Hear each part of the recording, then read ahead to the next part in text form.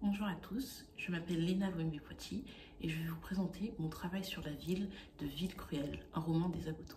La ville est un lieu qui inspire beaucoup d'écrivains depuis le 19e siècle. Elle est intéressante car elle est synonyme de rencontre, de modernité et de réussite.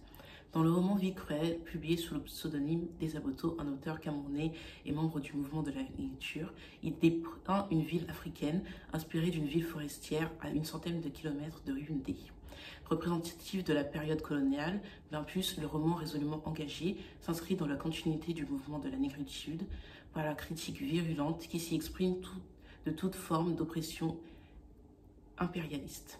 Dès lors, ce qu'on aimerait savoir, c'est comment Esaboto, dans ce roman engagé, Ville cruelle, oppose la ville fantasmée par le héros Panda, un villageois qui espère trouver le bonheur en ville, et la ville réelle, tout en dénonçant à travers ses aventures les méfaits du colonialisme. En premier lieu, nous verrons comment la ville apparaît comme un lieu de rêve, de réussite et de modernité, puis en second lieu, comment ces rêves confrontés à la réalité s'effondrent et comment la ville devient un lieu de désillusion et d'épreuves. Nous verrons dans une première partie comment Tanga inspire auprès des villageois le rêve de la réussite sociale, puis comment ces rêves sont provoqués par une réelle dynamique économique qui se développe dans la ville, et enfin par la suite, comment l'idée de vivre en ville induit chez les citadins l'idée de supériorité sur les villageois ou les broussards. Tangar est un lieu qui fait rêver les villageois car ils pensent pouvoir y gagner de l'argent et pouvoir y acheter de quoi améliorer leur quotidien. Ainsi, la ville est associée à celle de la réussite sociale. Il leur permet de vendre leur cacao, qui est nécessaire au commerce de la ville, mais qui n'est cultivé que par les villageois. Cela rend donc les villageois indispensables à la ville. Banda, le personnage principal, ne fait pas exception à la règle et il espère empocher les gains de sa vente pour diverses raisons. Je quitterai le village et j'irai me débrouiller à la ville. J'essaierai de travailler. En plus de vouloir vendre son cacao, Banda a l'ambition de travailler à la ville. En effet, de nombreux indigènes réussissent à trouver un travail en ville, à Tanga Sud, qui possède un centre commercial qui se trouve être le théâtre de nombreuses transactions. Le commerce étant principalement tenu par les Grecs, qui contrôlent celui du cacao, mais aussi de tout produit importé. Des indigènes tiennent aussi de petits commerces installés dans les vérandas des commerçants grecs. Leur boutique était construite à rez-de-chaussée avec des vérandas où s'installaient des tailleurs indigènes avec leurs apprentis. Elles vendaient tout. Et c'est chez eux que vous trouveriez les prix les plus bas et c'est dans leur maison que vous trouveriez la meilleure marchandise. Ces boutiques constituent un élément très attractif pour un villageois à Tanga. Être capable de se procurer n'importe quoi sans difficulté. Vivre à Tanga représente un certain raffinement, car en questionnant ce qui pousse les femmes à venir en ville, on doit en venir à la conclusion suivante. Avec quelle impatience avait-elle attendu, dans leur lointain visage, ce jour pour venir à la ville Pour elle, avide de sensations neuves et de préférences fortes, la saison du cacao signifiait la visite dans les boutiques grecques, les rations de bœuf, les conversations oisseuses avec les clercs et autres jeunes de la ville. La ville offre des choses qu'on ne trouve pas dans un village, comme faire les boutiques dans des rues, dans des rues commerciales ou encore le bœuf qui est considéré comme une viande de luxe et qu'on ne peut pas produire, procurer facilement en dehors de la ville puisque Wanda se demande comment son ancienne petite amie réussissait à en acheter. Je me demande d'ailleurs comment tu te le procures, mais je ne préfère pas le savoir. Ainsi, il est facile pour un villageois d'être impressionné par le dynamisme économique de Tanga. Premièrement, les Grecs ont le monopole du commerce. À la présentation de Tanga Sud, le narrateur présente le Tanga commercial ainsi. Le centre commercial, comme on l'appelait, on aurait tout aussi bien fait de l'appeler le centre grec. Tout le long des rues, les anciennes sonnaient grecques. Karmavalis, Despotakis, Palogakis, Mavromatis, Michalideis, Stariverides, et l'auteur en passe. Les Grecs sont donc une grande source de revenus et de la ville et représentent également une source d'argent pour les indigènes puisqu'ils sont les revendeurs principaux de cacao. Cependant, il y a une différence très nette entre les commerçants grecs et leurs fournisseurs. Pas des petits, des gros billets tels que l'on voit contre les mains des Grecs. Pas des petits comme on voit aux petits commerçants noirs. Les maîtres du commerce sont bien les Grecs et les commerçants indigènes ne représentent rien. Les gens associent les gros billets aux commerçants grecs, pas aux indigènes. Ainsi, dans l'imaginaire collectif et à la mesure de l'économie locale, les Grecs sont riches. Par exemple, quand Banda trouve la valise appartenant à un homme grec, il se demande combien il pourrait lui soutirer pour lui rendre cette valise. Il se demande à lui-même, au fait, qu'est-ce que c'est pour lui 10 000 francs? Rien du tout. Lui, désignant l'homme grec, d'ailleurs, Tanga est une ville exportatrice. Elle est donc connectée économiquement aux autres villes de ce pays ou même à d'autres pays du monde. On peut le voir grâce à l'industrie du bois à Tanga Sud. De ce côté de la ville, tout ne semblait vivre que pour ou par la bille du bois. C'était le royaume de la bille du bois. L'industrie du bois fait de la ville une puissance industrielle car elle apporte de nouvelles technologies comme les grues qui récupèrent les troncs du fleuve pour les hisser sur les quais. Tellement impressionnante qu'à côté de cette machine, l'éléphant même aurait fait figure de parure, ainsi que les trains qui prenaient livraison des billes aussitôt dégrossis. À cela s'ajoute l'autogrue, les haches automatiques à équarrir et tous ces camions qui appartenaient aux usines et qui leur servaient de publicité. Chaque usine avait envoyé au moins un échantillon le représentant dans la ville. Dès lors, les indigènes, devenus citadins, se pensent supérieurs aux villageois, aux broussards ou aux habitants des forêts. En effet, la civilisation apportée par les colons les a rendus dédaigneux envers leurs frères, se moquant ainsi de, de leur manque de civilisation. C'est pour cette raison qu'on peut les voir se moquer des piroguiers qui acheminent les billes de bois sur le fleuve. Les gens, massés sur le pont de Simon Armé, ne se laissaient pas du spectacle de ces longues cases montées sur deux ou trois pirogues jumelées. Effectivement, les citadins se placent sur ce pont de béton qui représente la modernité de la ville, toisant de haut les villageois naviguant sur le fleuve représentant la nature. Il y a donc un contraste visible entre la nature et la modernité. De plus, c'est depuis le pont, symbole en civilisation par sa structure en ciment armé, que les citadins narguent les hommes du fleuve, qui dans sa nature sauvage, mystérieuse et imprévisible, rouler des eaux noires et profondes. Finalement, quand un citadin goûte aux merveilles qu'offre Tanga, il n'a plus envie de retourner dans son village et finira même par le dénigrer, critiquant le manque de modernité qu'il a pourtant pu observer en ville, ainsi que l'abondance qui l'environne, lui donnant l'illusion d'être désormais un homme civilisé. À présent, nous allons voir ce qui se cache derrière la face du rêve, ce qu'on peut qualifier d'envers du décor, les désillusions. Nous verrons d'abord comment les rêves des villageois se heurtent à la réalité, puis les découvertes effrayantes que l'on peut faire en ville, et enfin comment Esaboto présente la ville comme un lieu de déshumanisation. Tout d'abord, le personnage principal, Panda, après avoir rassemblé près de 200 kilos de cacao pour pouvoir les vendre et ainsi se payer la dot de son mariage à venir, se fait arnaquer par les contrôleurs des qualités du cacao et toute sa production annuelle du cacao lui est confisquée. En un tour de main, les costauds du contrôleur s'étaient emparés de cinq charges de cacao qu'ils ont menées vers les monceaux de fèves d'où partait la fumée. Même si la première raison qui nous est donnée est que le cacao de Banda était tout simplement mauvais, nous apprenons plus tard par l'oncle de Banda, qui connaît la ville, qu'il a été victime d'une arnaque. Ton cacao était bon. Il n'avait rien que de la bonne qualité, d'accord mon fils, mais raison de plus pour que tu leur mouilles la barbe. En effet, il aurait fallu leur, leur donner un dessous de table, leur offrir une bière pour qu'ils s'y mouillent goulûment la barbe. Avec cette nouvelle information, on peut comprendre qu'il y a une machination. Quand les contrôleurs prennent du cacao en prétendant qu'il est mauvais et non commercialisable, alors que Banda était fier de sa qualité, ce n'est qu'un prétexte pour pouvoir le voler et le revendre à leur profit. Ensuite, Koumé est l'un des personnages qui représente le plus les malheurs qui peuvent avoir lieu en ville. En effet, Koumé, ainsi que ses collègues, les mécaniciens, n'avaient pas été payés depuis deux mois. Ils décident alors de se rebeller contre Monsieur T, le patron français du garage. Ils s'emparent de lui et le hissent sur leurs épaules au-dessus de leur tête pour le porter assis à travers les rues chez le commissaire de police et lui faire avouer ses crimes. Mais face à l'arrivée des quarts régionaux, ils le lâchent, craignant l'arrestation, et l'homme se fracasse la tête contre le sol. C'est l'accident mortel. À partir de là, c'est la fuite de Koumé et sa chute fatale lors de sa traversée du fleuve en pleine forêt. Ensuite, quand Banda comprend grâce à son nom qu'il n'y a que les plus rusés ou les plus malhonnêtes qui peuvent survivre, il pense au vol. C'est un grec qui allait faire son coup. Il n'y aurait pas de mal. Les Grecs, c'est une, race de voleurs qui ignoraient. Il prendrait juste 10 000 francs, rien que 10 000, il n'y aurait aucun mal. C'est comme si Banda ait essayé de rendre à la ville ce qu'elle lui a fait. Ce qui semble être sa dernière solution pour trouver de l'argent peut aussi être son moyen de prouver qu'il n'est pas faible. Cependant, il semble en permanence agité par la culpabilité. Comme le signalent les nombreux monologues intérieurs, luttant avec sa conscience de villageois, il essaye de se rassurer en se répétant que les règles que les Grecs sont des voleurs et qu'il n'y avait aucun mal à voler un voleur. Pour finir, Tanganor est la preuve des rêves brisés de tous les indigènes. Premièrement, en comparaison de Tonga Sud, qui semble être assez ordonné, Tanganor est caractérisé par ses petites cases avec des murs de terre battus, des toits de nattes de couleur incertaine, des enfants nus dans la boue ou la poussière des cours, des commères sur les seuils.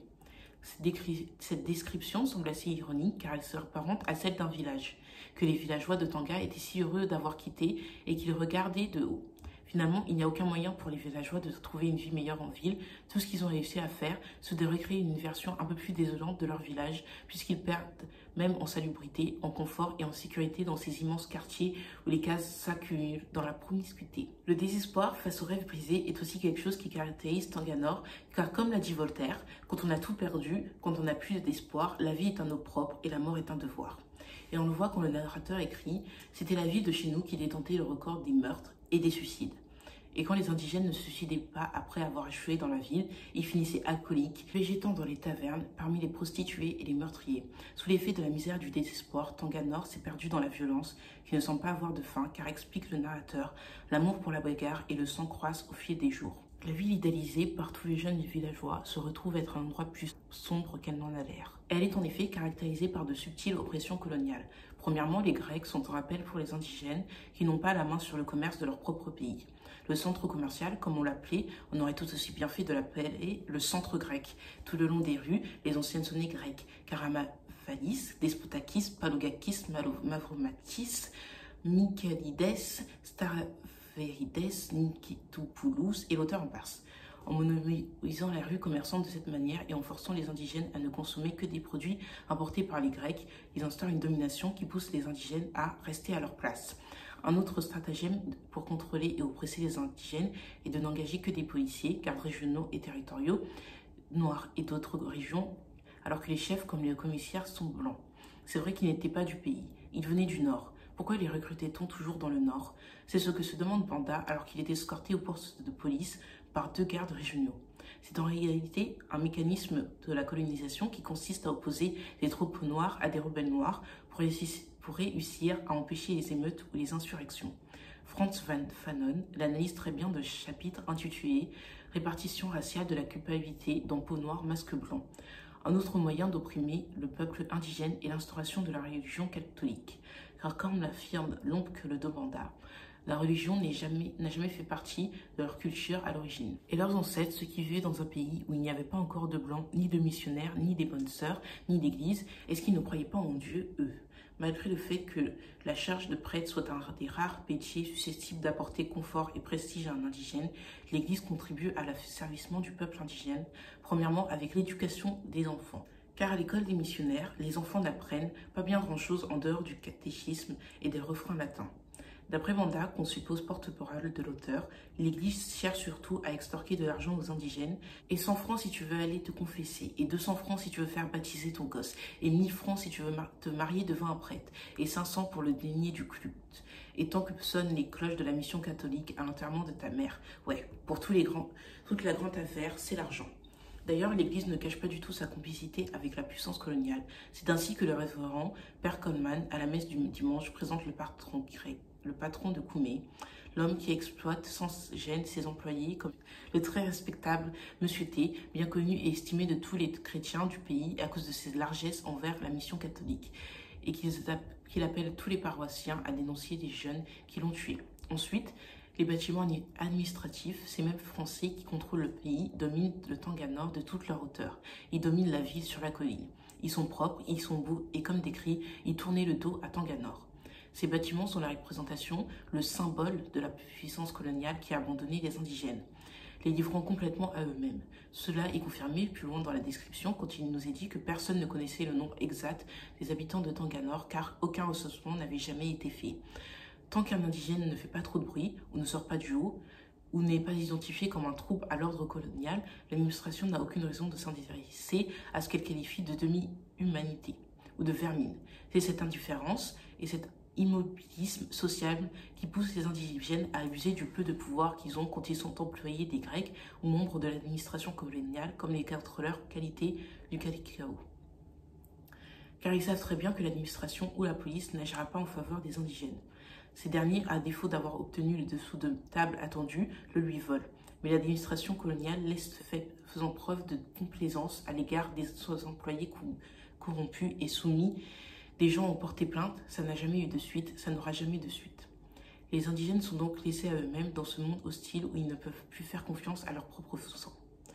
Tanga Sud, qui est un spectacle de modernité à tous les coins de rue, opposant à chaque instant tradition et nouveauté, s'avère aussi cependant être un monde de déshumanisation. En effet, cette clairière et cette colline qui furent autrefois des espaces de nature ont laissé place à un monde tout autre, sous le signe du machinisme. Dans la zone des usines de bois, la grue à côté de qui l'éléphant même aurait fait figure de parure se, se métamorphose sous le regard du narrateur avec ses deux dents en monstre dévorateur. L'autre grue, puis les haches mécanisées utilisées pour le formatage des troncs en vue de l'exportation, font subir au bois, au bois une véritable séance de torture, allégorie de la violence faite à la nature.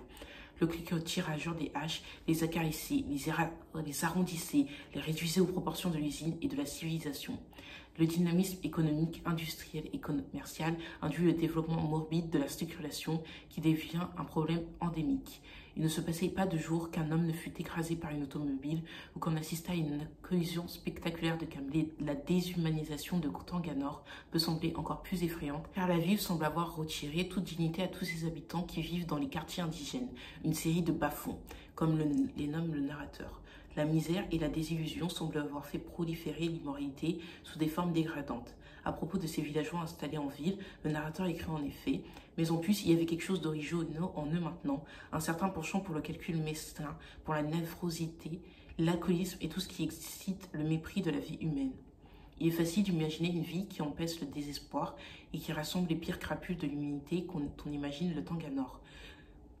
C'était la vie de chez nous qui détournait le record des meurtres et des suicides.